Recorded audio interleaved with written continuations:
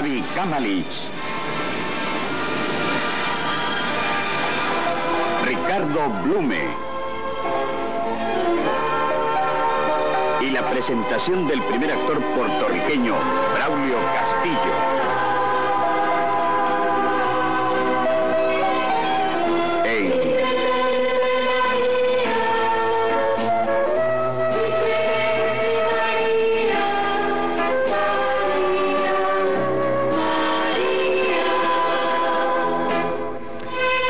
María es la telenovela peruana que más se recuerda, el primer éxito masivo de la televisión. Era un libreto que no tuvo éxito en Argentina, pero algo mágico ocurrió en el Perú. La historia de la provinciana analfabeta, que llegó a tener una casa de modas en París, tuvo un éxito tan grande que el país se paralizaba todos los días a las 2 de la tarde para ver la historia de María. Ricardo Blume tuvo una, una participación muy curiosa. Costura, ¿sabes? Por algo fuiste a ver al Ramón. No sería para averiguar tan solo. Claro que fue para averiguar.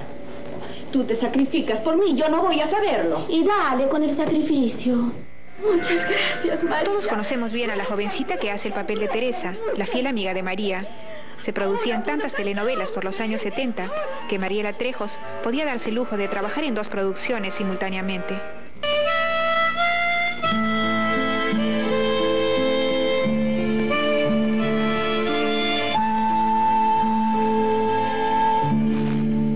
Deshojada florecita.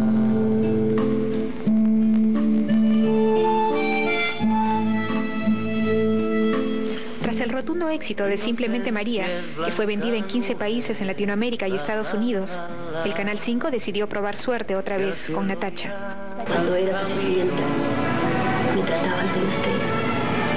Tenías para mí las mismas gentilezas que para una señorita.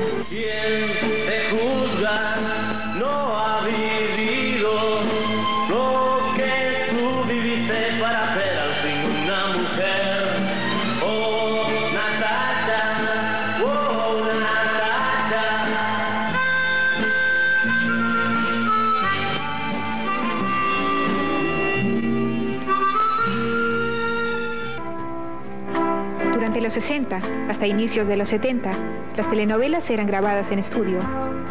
Las cámaras y los actores rara vez salían a las calles. En esta escena, por ejemplo, Gustavo Rojo camina meditabundo, supuestamente en una calle de Lima, aunque en realidad no se movía de la misma loseta en el estudio. Éramos unos magos. Éramos unos magos. ¡Le ganamos, Natacha! ¡Óyeme! ¿Pero qué pasa? ¿Qué te ocurre? ¡Le ganamos! ¡Le ganamos por un gol! A la engreidita esa. Raúlito no por teléfono. No, entiendo, pero ¿qué es lo que pasa? Hija, yo no defiendo pero un hombre es un hombre.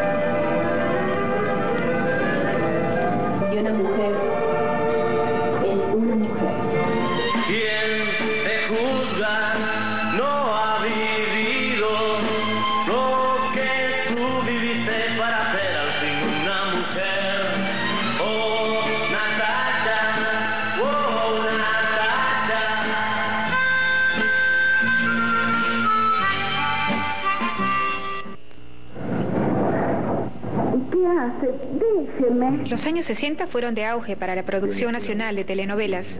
Simplemente María y Natacha fueron un éxito internacional. El Perú se preparaba para ser una industria televisiva, hasta que llegó el golpe militar. En 1971, los canales son intervenidos. Se dictan serias medidas frente a los medios de comunicación. Los contenidos de las telenovelas eran revisados en la Oficina Central de Información. Sin embargo, Julio Alemán y Regina Alcover hicieron su propia revolución con el adorable profesor Aldao. Alcover era el rostro juvenil en la pantalla. Su presencia en el adorable profesor Aldao, la inconquistable Viviana Ortiguera y Gorrión, la convirtieron en el ídolo de miles de jóvenes que la seguían por televisión. Una persona y las personas vivimos tan mal. En cambio las muñecas la pasan de maravilla. Te quiero, Mariana. Te quiero. No eres un hombre para una chiquilla. Las cosas simples de la vida nos dan siempre alegría y sola la felicidad, las cosas simples de la vida nos dan siempre alegría y sola la felicidad. La única profesora que hay en este barrio soy yo, mamá. Capacitada, ¿eh?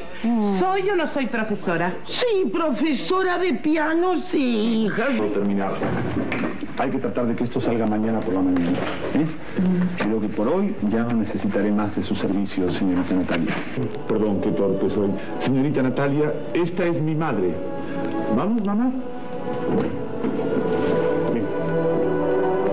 Bueno, eh, yo también me voy. Se hace tarde para comer. A- Hasta luego, Nino. Es- Y recuerda, ¿eh? Voy a comprar bastante carne, pero eso sí, si engordo y no puedo mantenerme en pie, tú serás el único culpable. Chao. Adiós, Blanca.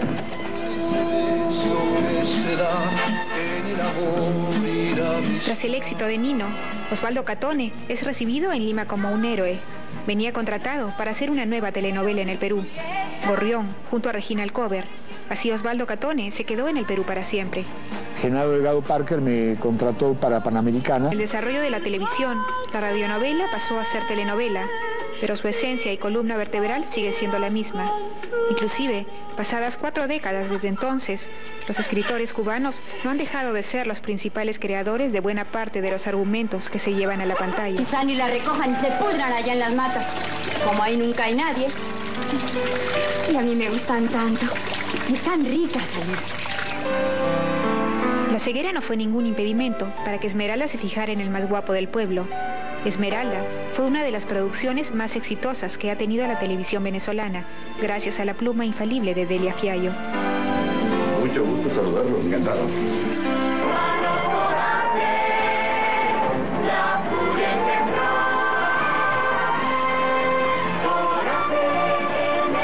Comenzando los 70, antes de que el régimen militar pusiera trabas a la producción telenovelesca, se produjo Hermanos Coraje, de Janet Claire, un clásico brasileño.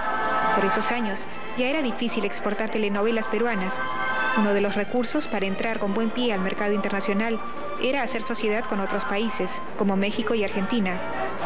Hermanos Coraje fue rodada en México y fue la primera telenovela que mostraba muchas secuencias en exteriores.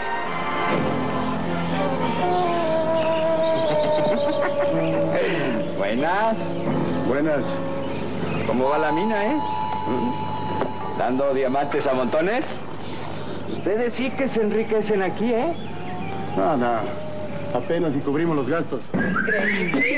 ¿Qué pasó, mamacita? Hola, hijo. ¿Cómo, mi hermano? Hola, Jerónimo. ¿Cómo estás? Bien. Siéntate, Jerónimo, que tengo un montón de cosas que contarte. Óyeme, pero yo pensé que tú estabas en cama, Milano. ¡Feliz año nuevo para todos, eh! A fines de los 70 se acabó la producción nacional y la fiesta de las coproducciones. Se prohibieron muchas importaciones, menos las de las lágrimas. Por un buen tiempo, los peruanos solo veíamos telenovelas mexicanas, venezolanas y algunas novedades de Argentina.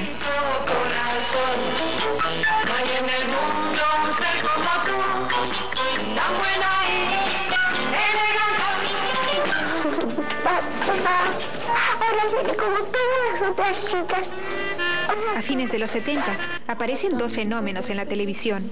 Los ricos también lloran y Colorina pasaron a ser historia en el lacrimógeno mundo de las telenovelas.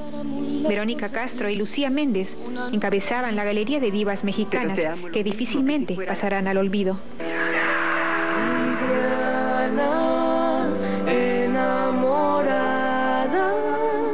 Viviana es la primera telenovela que se transmite a color en el Perú. La mexicana Lucía Méndez se convierte en la nueva diva de la pantalla.